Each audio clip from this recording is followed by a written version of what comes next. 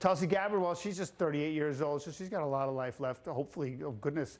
Uh, be honest, she can be a lot livelier than you might think on the trail. She's thoughtful, she's measured, sometimes very serious, but it doesn't always have to be that way. I tried to learn a little bit more about her, starting with her ability to surf. Now, I'm not talking about the web, I'm talking about the waves. What's the biggest wave you ever surfed? Uh, probably uh, double overhead. So as high as I am, plus times two. And you made it?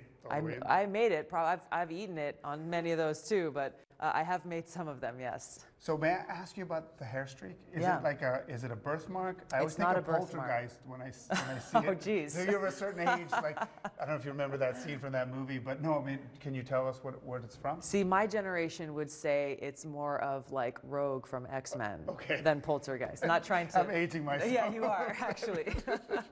Um, no, it's, uh, I, I, started to, to gray in, in that spot actually uh, during and after my first deployment to Iraq, and uh, it's just something that I've chosen to keep uh, as a reminder of uh, every day of, of the cost of war and, and the importance of peace and, and who pays the price for war.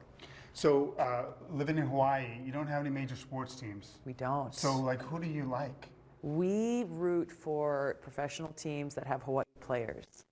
So right now, the Tennessee Titans, the Tennessee Titans are are, uh, are doing very Where's well. Marcus Mariota. Marcus Mariota yeah. is, a, is a Hawaii boy.